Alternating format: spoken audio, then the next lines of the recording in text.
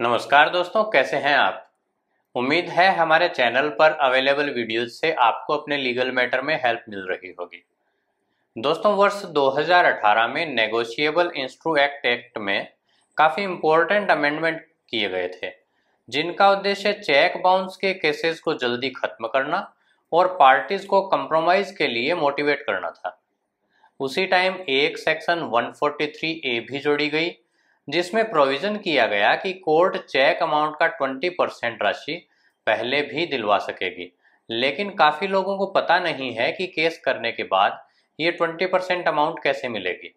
इसलिए आज के वीडियो में हम जानने की कोशिश करेंगे कि जब हम चेक बाउंस का कोई केस फ़ाइल करते हैं तो उसमें शुरुआती स्टेज पर ही कैसे 20 परसेंट अमाउंट क्लेम कर सकते हैं। लेकिन इसके पहले मेरी आपसे रिक्वेस्ट ज़रूर रहेगी कि अगर आप चैनल पर नए हैं या आपने अभी तक हमारे चैनल विधान का ज्ञान को सब्सक्राइब नहीं किया है तो अभी सब्सक्राइब कर लें ताकि ऐसे ही यूज़फुल वीडियोस के नोटिफिकेशंस आपको मिलते रहें। दोस्तों नेगोशिएबल इंस्ट्रूमेंट एक्ट में सन 2018 के अमेंडमेंट से जो सेक्शन 143 ए जोड़ी गई, उसमें प्रोविज़न किया गया था कि चेक बाउंस के केस में चेक देने वाले व्यक्ति पर कोर्ट चार्ज लगाता है और वो खुद को निर्दोष बताए। तो कोर्ट चार्ज की स्टेज पर ही चेक देने वाले व्यक्ति से उस व्यक्ति को इंटरिम कंपनसेशन दिलवा सकता है, जिस व्यक्ति के फेवर में चेक दिया गया था। और साथ ही ये प्रोविज़न भी है कि इंटरिम कंपनसेशन की अमाउंट अधिकतम चेक अमाउंट की 20 परसेंट तक हो सकेगी। दरअसल, जब भी चेक बाउंस के केस में चेक देने वाली पार्टी उपस्थित होती है तो कोर्ट उस पर चार्ज लगाती है। यानी कोर्ट उसको पूछती है कि आप पर शिकायत करने वाले ने जो आरोप लगाया है, आप उसको स्वीकार करते हो या अस्वीकार? अगर चेक देने वाली पार्टी अपने अपराध को स्वीकार कर ले तो कोर्ट उसी स्टेज पर केस को डिसाइड कर सकती है। लेकिन अगर वो ये कहे कि मैं निर्दोष हूँ तो फिर कोर्ट में केस की ट्रायल चलती है। जिसके दौरान कोर्ट सारे एविडेंस और गवाहों के बयाना, बयान वगैरह लेकर उनके आधार पर केस को डिसाइड करती है। इसमें टाइम भी लगता है और कोर्ट को अपनी प्रोसीजर भी कंप्लीट करनी होती है। इसलिए जहाँ पर केस में चेक इश्यू करने वाली पार्टी 138 के अपराध को स्वीकार नहीं करे तो कोर्ट ये ऑर्डर कर सकती है कि वो कोई अमाउंट कंप्लेंट फ़ाइल करने वाले को इंटरिम कंपनसेशन के रूप में पहले दे। जो कि चेक अमाउंट का 20 परसेंट तक हो सकती है।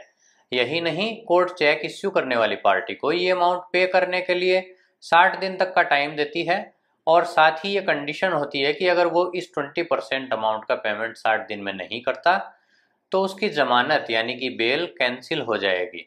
हाँ अगर किसी मैटर में कोर्ट को ये लगे कि 60 दिन में पेमेंट नहीं कर पाने के लिए कोई उचित कारण था तो कोर्ट चेक इश्यू करने वाले को 30 दिन तक का टाइम और दे सकती है। और अब हम बात करते हैं कि कंप्लेंट करने वाले को ये 20 परसेंट अमाउंट कैसे मिलेगी। तो दोस्तों, आपके केस फ़ाइल करने के बाद जिस दिन एक्यूज पर्सन को, यानी चेक जारी करने वाली पार्टी को कोर्ट में लाया जाता है, या वो उपस्थित होता है और कोर्ट उस पर चार्ज लगाती है तो उसी स्टेज पर आप एक आप एक एप्लीकेशन सेक्शन 143 ए के अंतर्गत पेश कर दीजिए, जिसमें ये स्पेसिफिकली लिखना होगा कि चेक डिसऑनर के बाद एक्यूज को नोटिस मिल गया था और नोटिस के बाद से अब तक एक्यूज ने किसी भी राशि का भुगतान आपको नहीं किया है। हालाँकि ये ऑर्डर कोर्ट अपने आप भी कर सकता है, लेकिन बहुत सारी कोर्ट्स अपने आप ही ऑर्डर नहीं करती। इसलिए चार्ज की स्टेज पर ये एप्लीकेशन ज़रूर फ़ाइल कर देनी चाहिए। ताकि कोर्ट उस पर ऑर्डर कर सके।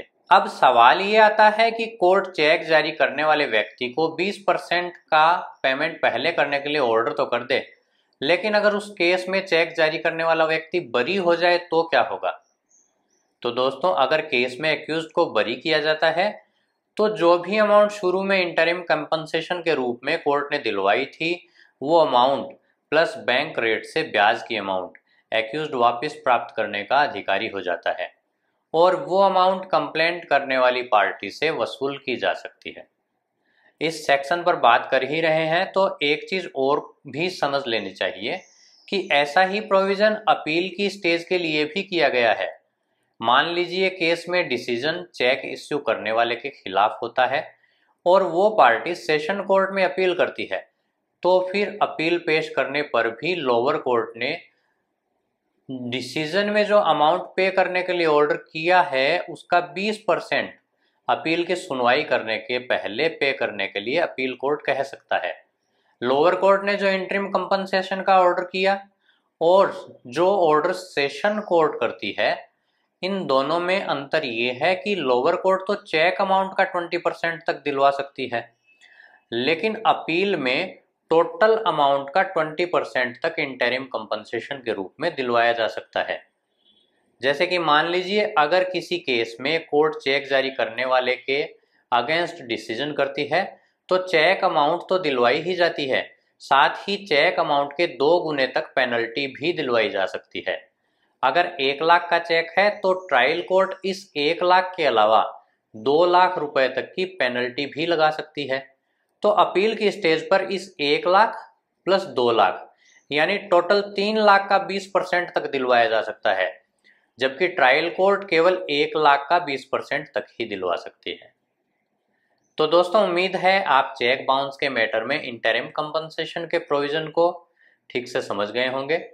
इसके अलावा भी आपके कोई सवाल हैं या फिर आप अपने किसी लीगल मैटर पर मुझसे राय लेने के लिए बात करना चाहते हैं तो आप स्क्रीन पर दिखाए गए हमारे नंबर पर व्हाट्सएप करके कॉल बुक भी करवा सकते हैं। ऐसी ही जानकारियाँ रेगुलर प्राप्त करने के लिए आप हमें इंस्टाग्राम पर भी फॉलो कर सकते हैं। बने रहिए हमारे साथ, मिलते हैं अगले वीडियो में।